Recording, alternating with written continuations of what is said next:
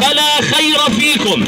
وأهل الشام دائما وأبدا. إذا رجعنا إلى التاريخ ومر التاريخ دخلها الغزاة دخلها الإنجليز دخلها الفرنسيون دخلها التتار.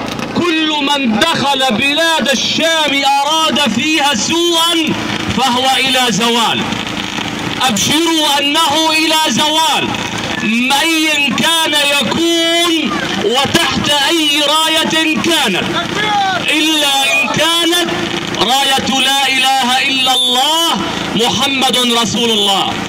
أقول لكم تمسكوا بها وسيروا عليها.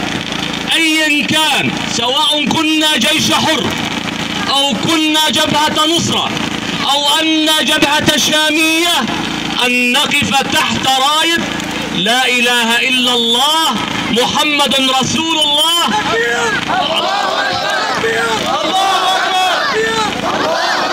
من أجل إذا قتلت في ساحة المعركة أو قتلت في بيتك أو هدم عليك بيتك إذا سألك الله يوم القيامة فيما فيما قتل قتلت يا عبدي قلت له فيك يا رب. لا أريد مالا. ولا أريد جاها ولا أريد عزا ولا أريد إنما أريد أن أطهر البلاد من النصيرية من الكفرة من الظلمة من الذين سامون سوء العذاب.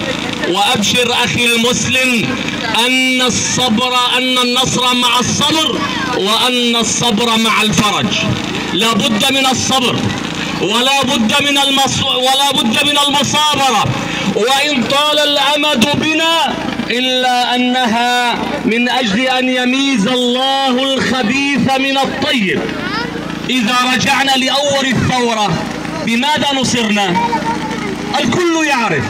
نصرنا بالبامبوكشن بباروت الصيد بالتفنجة الذي عنده روسيا كان قليلا جدا جدا.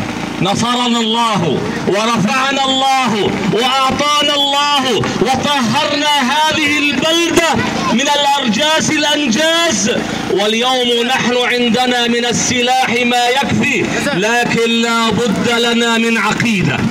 لا بد لنا من إيمان لا بد لنا من إسلام. عندها تنصر وسننصر إن شاء الله. النصر قريب والفرج قريب لكن لا تملوا ولا تيأسوا والكل يقول الله أكبر. الله أكبر. الله أكبر. الله أكبر.